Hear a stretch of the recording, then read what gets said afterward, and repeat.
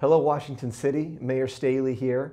Uh, water continues to be on my mind, even though I am really enjoying this uh, beautiful uh, spring weather. Um, that means that the state legislature has recently finished their session, and during that session, they actually passed a record number of water conservation bills, including uh, allocation of over $500 million in spending. You know, uh, water infrastructure it has been important to us historically and it will continue to be important to us going forward. I, I think of the local reservoirs and particularly Sand Hollow, which is incidentally celebrating uh, its 20th uh, birthday. Sand Hollow continues to be uh, a really a lifeline for us in terms of being able to, uh, to gather that runoff from snow and we were able to treat and distribute the water locally.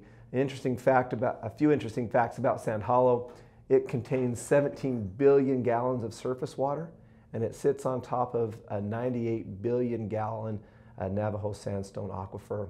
It's also um, the number one state park and contributes millions of dollars to our economy locally. So uh, we're, we're very lucky to have uh, Sand Hollow. Additionally, with water, um, it's April, so for another month, please don't water more than three times uh, per week and drip up to two times per week. If you want more information on water conservation, please visit wcwcd.org.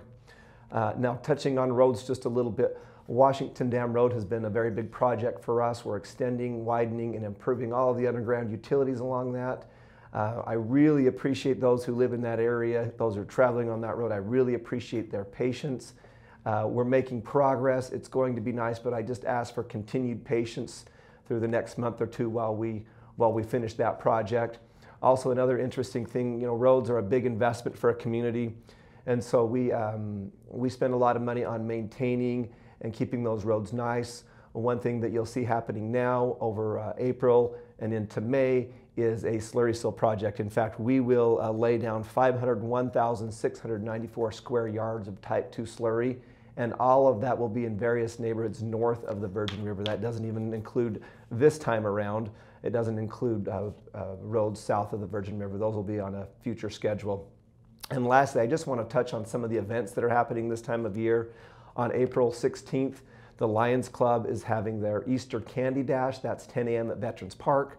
From April 20th to April 23rd is the uh, Washington County Fair. Visit washcofair.net to find more information about that. And of course, our birthdays coming up, Cotton Days is going to be celebrated from April 25th through May 1st. Uh, visit cottondays.org for more information there. And lastly, on May 7th, for the first time ever outside of Kona, Hawaii, the Ironman World Championships will be held right here in Washington County, Utah, southern Utah. So we're really excited to host them. In fact, I'll be uh, carrying on the tradition of a free uh, Mayor's Pancake Breakfast. So if you want to join me on May 7th, just behind the police station, I'll be serving breakfast along with the City Council from 8 to 10 a.m. Um, but until then, it seems like the most fitting reply or sign off is aloha.